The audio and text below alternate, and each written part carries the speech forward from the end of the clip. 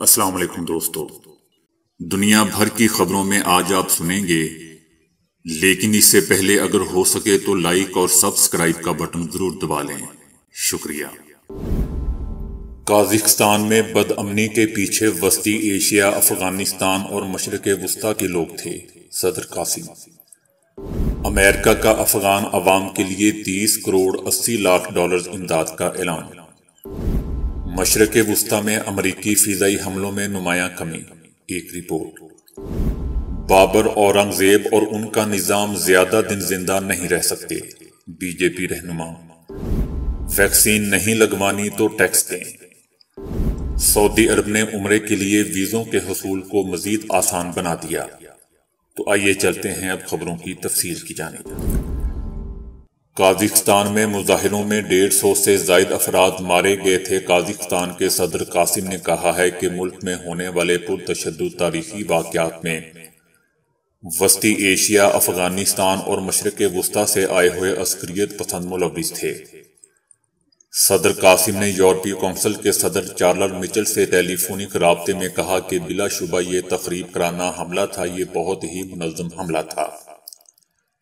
जिसमें वस्ती एशिया, अफ़गानिस्तान और मशरक वस्ती से तल्लुक़ रखने वाले गैर मुल्की जंगजू मुलविस थे। सदर कासिम ने इल्ज़ाम आयद किया कि उन्होंने इकतार पर कब्जे की कोशिश की गर्द से अफरा तफरी बर्पा की। रूस ने भी बैरूनी ताकतों की मुदाखलत पर तशवीश का इजहार किया। काजिकस्तान की हुकूमत और रूस बगैर कोई सबूत फराहम किए काफ़ी मरतबा बैरूनी ताकतों को मुल्क में बदअमनी का जिम्मेदार ठहरा चुके हैं। सदर कासिम ने मुजाहिरों के दौरान होने वाले मुआशी नुकसान का तखमीना दो से तीन अरब डॉलर के दरमियान लगाया है। एक करोड़ नब्बे लाख आबादी पर मुश्तमिल मुल्क में शदीद एहतजाज। उस वक्त शुरू हुआ जब नए साल के मौका पर माया petroleum gas L P G की कीमतों में इजाफा सामने आया था।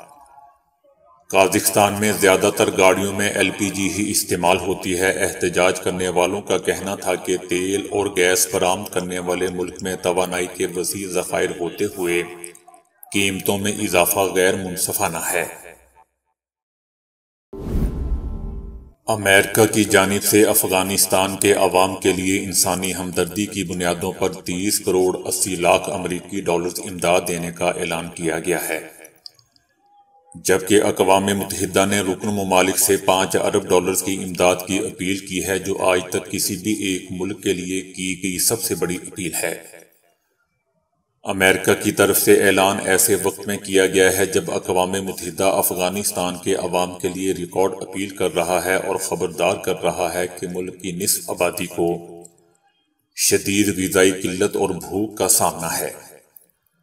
अफ़गानिस्तान के लिए ऐलान करदा इमदाद बराह रास्त U S agency for international development से इंसानी इमदाद की गैर सरकारी तंजीमों को जाएगी अफ़गानिस्तान के लिए इमदादी रकूम, खुराक और दीगर गजाई अशिया मराकज सेहत की मदद और सेहत की मोबाइल सहूलियात पर खर्च की जाएगी और इस बात को यकीनी बनाया जाएगा कि इमदादी कारकुन और सप्लाइज मुश्किल इलाकों तक पहुँच सकें। इसके अलावा ये इमदाद उन प्रोग्रामों पर भी खर्च की जाएगी, जिनके तहत लोगों को सर्दी से बचाने के लिए हीटर, कंबल और गर्म कपड़े फराहम किए जाते हैं।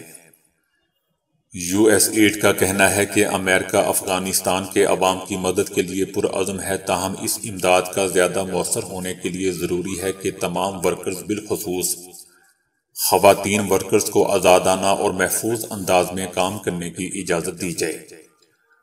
और उनको इस काबिल होना चाहिए कि वो खातन और लड़कियों तक बगैर किसी रिकावट पहुँच सकें। अमेरिका तालिबान पर बदस्तूर ज़ोर दे रहा है कि वो इंसानी इमदाद के लिए बिना रिकावट रसाई महफूज माहौल फराहम करे ताकि तमाम कमज़ोर अफराद को मदद फराहम की जा सके। अकवा मुतहदा ने खबरदार किया है कि अफ़गानिस्तान दुनिया का वो मुल्क बन रहा है जो तेज रफ्तारी से इंसानी बहरान की जानब बढ़ रहा है। किसानों और चरवाहों का कई दहाइयों के बदतरीन कह से वास्ता है, उसकी वजह से वो सख्त मुश्किल का शिकार हैं। लोगों को कई बरसों की जंग और तबाह हल मीशत के असरा से निकालने के लिए मदद की ज़रूरत है। अफ़गानिस्तान को मुल्क के अंदर और मुल्क से बाहर अपने शहरियों की बड़े पैमाने पर नकल मकानी का भी सामना है। नब्बे लाख से जायद अफराद मुल्क के अंदर बेघर हुए हैं, जिनमें से एक तही बेघरी की वजह जंग है। लगभग साठ लाख अफगान पड़ोसी मुल्कों में रह रहे हैं, जिनमें ज़्यादातर पाकिस्तान और ईरान के अंदर मौजूद हैं। अमरीकी एयर फोर्स सेंट्रल कमांड की जानब से शाया होने वाली रिपोर्ट के मुताबिक अफ़गानिस्तान और मशरक वस्ती में गुजशत साल किए जाने वाले फिजाई हमलों में नुमाया कमी वाक़ हुई है। अदादोशुमार के मुताबिक 2021 में अमरीकी फ़िज़ाइया की जानब से अफ़गानिस्तान, इराक, शाम और सोमालिया में मजमू तौर पर 510 फिजाई हमले किए गए। जो कि 2020 के मुकाबले में अड़तालीस इशारिया तीन फ़ीसद कम है। 2020 में अमरीकी फ़िज़ाइया ने मजमू तौर पर नौ सौ सतासी हमले किए थे। दिफाई माहरीन इस बारे में कहते हैं कि इसमें नुमाया कमी की अहम वजूहत में अफ़गानिस्तान से अमरीकी इनखला और जो बाइडन इंतजामिया की पॉलिसियाँ हैं। क्योंकि वो फौजी कुत के मुकाबले में डिप्लोमेसी पर ज़ोर देते हैं, याद रहे दोस्तों के गुजशत माह न्यूयॉर्क टाइम्स को मसूल होने वाली पेंटागन की खुफिया दस्तावेजात के मुताबिक। अमरीकी फ़िज़ाइया की नाकिस मालूम की बुनियाद पर होने वाले फ़िज़ाई हमलों के नतीजे में इराक, शाम और अफ़गानिस्तान में एक हज़ार तीन सौ से जायद आम शहरी मारे गए थे। मरने वालों में अक्सरियत खातन और बच्चों की थी। भारतीय रियासत आसाम के वज़ीर अला ने रियासत तेलंगाना में अपनी जमात भारतीय जनता पार्टी के कारकुनान से खिताब में मुगलों, निज़ामों और मुस्लिम सियासी रहनुमाओं के खिलाफ खूब जहर उगला। उसका कहना था कि जैसे मकबूजा वादी की दफ़ा 370 का खात्मा हुआ, जैसे राम मंदिर की तामीर का काम शुरू हुआ, इसी तरह यहाँ निज़ाम और अवैसी का नामो निशान भी मिट जाएगा। इसमें अब ज़्यादा वक्त नहीं है। उसका कहना था कि भारतीय तारीख बताती है कि बाबर औरंगज़ेब और उनका निज़ाम बहुत दिनों तक ज़िंदा नहीं रह सकता। हमें एक ऐसे नए भारत की तामीर करनी है जिसमें कोई भी निज़ाम की तारीख नहीं पड़ेगा, बल्कि हमारे अपने रहनुमाओं की तारीख पढ़ाई जाएगी। हैदराबाद पर तकसीम हिंद से कबल तक इस निज़ाम ने बरसों हुक्मरानी की थी। सोशल मीडिया पर दोस्तों, इस मुतनाज़ बयान पर काफ़ी बहस हो रही है। और बहुत से अफराद ने इसे इश्तियाल अंगेज करार दिया है। आसाम के वज़ीर अला ने भारत को नई सिमत देने के लिए वज़ीर अजम मुद्दी की तारीफ़ की। लेकिन वो इस हकीकत से साफ़ मुँह मोड़ गए कि जब से मोदी भारत के वज़ीर आज़म बने हैं, तब से मुल्क में बेरोजगारी का संगीन मसला। शुरू हुआ और इस वक्त मुल्क एक बहरान से गुजर रहा है। चंद रोज पहले ही भारत के मरूफ इदारे इंडियन इंस्टीट्यूट ऑफ़ मैनेजमेंट के तलबा और इस और सबक आर्मी ऑफिसर ने वज़ीर अजम नरेंद्र मोदी के नाम खत लिखकर मुल्क में नफरत अंगेज तकरीरों और मुसलमानों पर हमलों के खिलाफ उनकी खामोशी पर सवाल उठाए थे।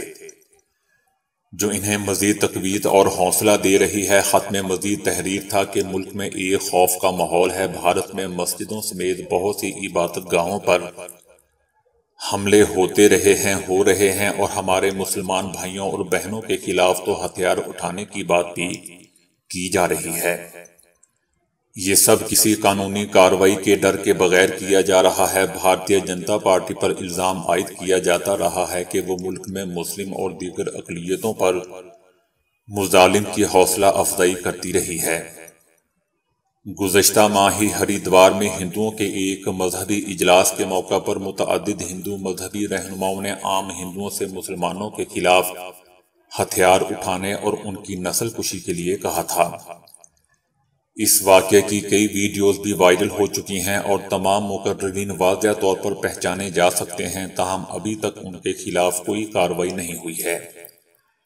मुसलमानों ने इस मामले पर सुप्रीम कोर्ट से रजू कर लिया है। कनाडा के एक सूबे क्यूबेक ने कोरोना वैक्सीन न लगवाने वालों से सेहत के शोबे में अखराज में हिस्सा लेने पर गौर शुरू कर दिया है। क्यूबेक, कनाडा का दूसरा सबसे ज़्यादा गुंजान आबाद सूबा है। यहाँ बड़ी तादाद में ऐसे लोग हैं जिन्होंने कोरोना से बचाव की वैक्सीन नहीं लगवाई है। सूबे की इंतजामिया ने कोरोना से बचाव की वैक्सीन ना लगवाने वाले बालिग अफराज से सेहत का हिस्सा के नाम से इजाफी टैक्स लेने की तैयारी शुरू कर दी है। इजाफी टैक्स का मकसद लोगों में बुनियादी इंफरादी हकूक और इजतमाही समाजी जिम्मेदारियों के बारे में शूर को उजागर करना है। इस हवाले से कहा गया है कि वैक्सीन ना लगवाने वाले अफराद दूसरों पर खतरे और इजाफी माली बोझ का बायस बन रहे हैं। गैर वैक्सीन शुदा लोगों से रकम की वसूली के कायदो जवाबत तय किए जा रहे हैं। ये टैक्स उन लोगों से नहीं लिया जाएगा जिन्होंने तिबी मसाइल की वजह से वैक्सीन नहीं लगवाई। कैनेडा के माहरीन का कहना है कि दुनिया भर की हुकूमतों ने वैक्सीनेशन ना कराने वालों पर नकलो हरकत पर पाबंदियाँ आयद कर रखी हैं। लेकिन तमाम गैर वैक्सीन शुदा बालगों पर एक बड़ा टैक्स बहुत गैर मामूली और मुतनाज़ इकदाम हो सकता है। टैक्स की वसूली का इकदाम अदालती चाराजोई का शिकार भी हो सकता है। सऊदी अरब ने जायदीन के लिए वीज़े के हसूल को मजीद आसान करते हुए डिजिटल सहूलत फराहम कर दी है। वजारत हज उमरा ने उमरा का वीज़ा हासिल करने के ख्वाहिशमंद अफराद के लिए डिजिटल प्लेटफॉर्म ई उमरा गेट मुतारफ करवाया है, जिस पर जाकर महज चंद ज़रूरी मालूम फराहम करके फौरी तौर पर उमरा वीज़ा हासिल कर सकते हैं, इस सहूलत से उन ममालिक के शहरी फ़ायदा उठा सकते हैं, जहाँ से सऊदी अरब आने पर पाबंदी आयद नहीं है। इसके साथ ही ऐप के ज़रिए उम्र की अदायगी और मस्जिद नबी सल्लल्लाहु अलैहि वसल्लम की ज्यारत की तारीख और वक़्त पेशगी हासिल कर सकते हैं, ताकि बाद में जहमत न हो। तो दोस्तों, अभी के लिए इतना ही। वीडियो को लाइक और शेयर करने का बहुत बहुत शुक्रिया।